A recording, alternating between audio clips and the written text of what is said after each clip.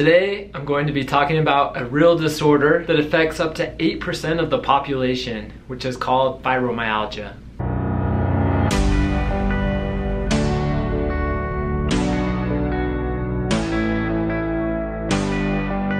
I'm Dr. Ammon Hills. I'm a pain management physician practicing at Alpine Orthopedic Specialists in Northern Utah.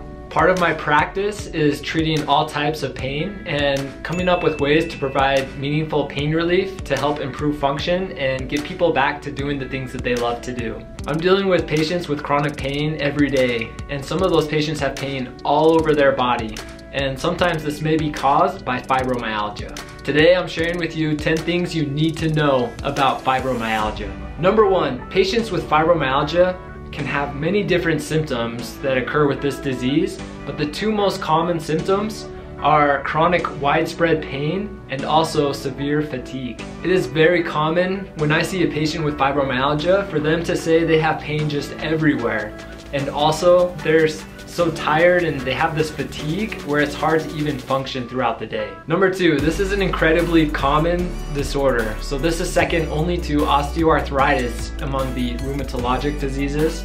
There's up to 5 million adults in the United States who are diagnosed with fibromyalgia. This can be diagnosed at all ages. Number three, 80 to 90% of people with fibromyalgia are gonna be women or female. Although we will occasionally see this among children and men, but definitely more common among females. I definitely see this in my practice where the majority of patients that come in are female, but I will also see males as well with fibromyalgia. Number four, how do we diagnose fibromyalgia? We used to do this by checking tender points. The patient would need 11 of 18 tender points to be diagnosed with fibromyalgia. In 2010, the American College of Rheumatology came up with more specific and detailed criteria to help us make this diagnosis. So these patients are in a lot of pain, but there's other things that are also affected. There's other symptoms that are also affected. And so this criteria helps us to check for those other symptoms. We still check to see if the patient has widespread pain and we're able to locate where that pain is. We're also able to see how long they've had these symptoms and how severe they are. So these symptoms need to be present for at least three months. We also need to make sure that there's no other diseases or causes that would explain their widespread pain. Number five, many people with fibromyalgia will have trouble with concentration and with memory. Sometimes this is referred to as a brain fog or fibro fog.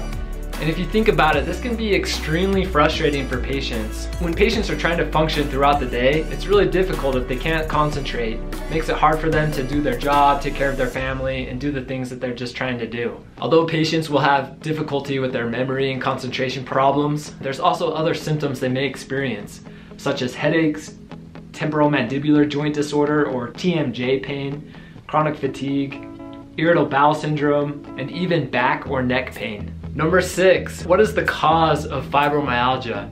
It's often very difficult to pinpoint a cause of fibromyalgia. We know there's sometimes multiple factors that may be associated with this, such as injury, trauma, or hereditary genes. In fact, we know that Family history does play a strong role in developing fibromyalgia.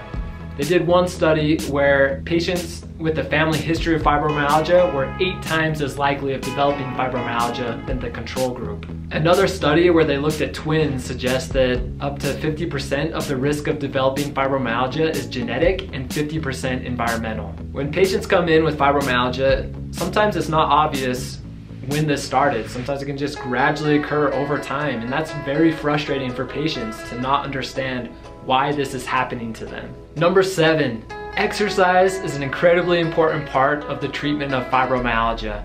Try to incorporate strengthening, stretching, aerobic exercises as part of the treatment for fibromyalgia. Being overweight or obese may trigger fibromyalgia, but maintaining a healthy weight will help to control these symptoms. Number eight, what medications are used to treat fibromyalgia? There are three FDA approved medications to treat fibromyalgia. Pregabalin or Lyrica, duloxetine or Cymbalta, and milnacipran or Savella.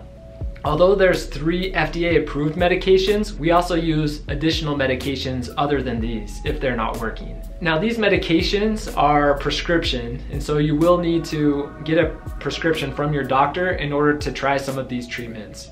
Number nine, is there a fibromyalgia diet? Although there's not a fibromyalgia diet, there are some foods that may help reduce the symptoms associated with fibromyalgia.